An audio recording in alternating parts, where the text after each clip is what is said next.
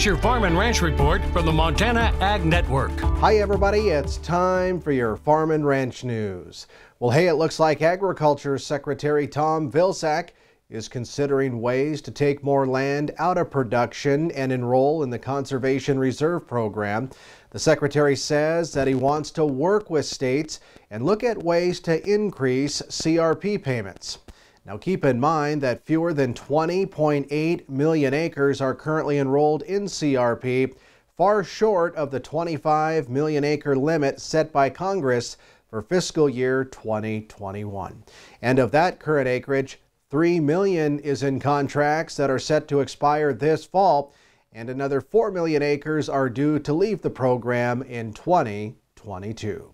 Now, Vilsack says that he wants to figure out ways to encourage states like Montana to work with USDA to look at innovations and creative ways to help encourage more participation and CRP payments should be high enough, he says, to get people to enroll in the program without distorting those land markets.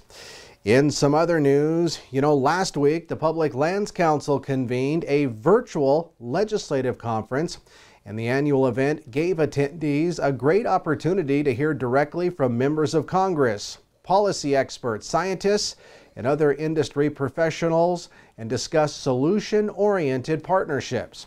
PLC President Nels Hansen from Rawlins, Wyoming said that they heard from experts on issues like multiple use, conservation, biodiversity, and even wildfire management, all of which are vital to public lands, ranchers, and of course our western communities. Now, conference participants heard from members of Congress like Montana Senator Steve Daines, who talked about strategies for building relationships and developing successful policy in the current landscape of the 117th Congress and President Biden's administration. Stay with us. We'll have more ag news right after this.